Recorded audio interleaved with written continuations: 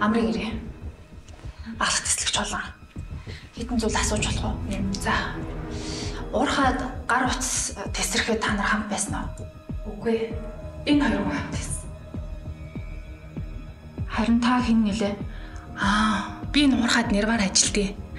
Энэ хохирогч гана манай хамаатны дүү байгаа юм л та. Энэ ар гэрийнх нь. Би ганаад ажиллаа хариуцуулаад өөрөө хотод ирсэн.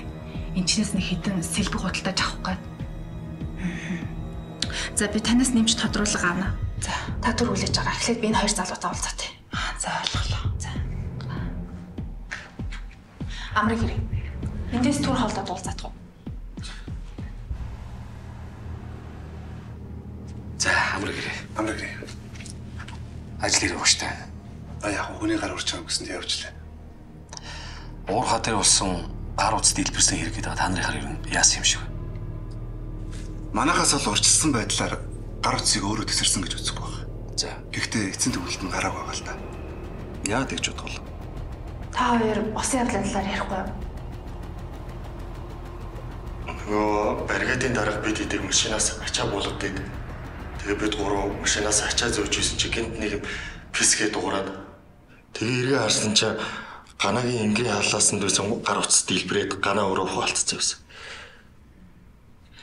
Гаднаас ямар нэг юм тесрээд ганаа хохироосон байж болох уу?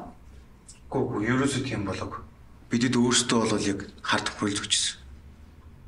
Гарац өөрөө эвдэрлээс болж тесэрсэн бол дотроос гадагшаа чиглэлд тесрэх байсан. Харин энэ гар утсыг харах юм бол нүүрнээсээ аршаа задарч тесэрсэн байгаа. Тэгэхээр энийг тесрэлтийн мөр бах боломжтой гэж үздэг юм л да. Аа зөв зөв.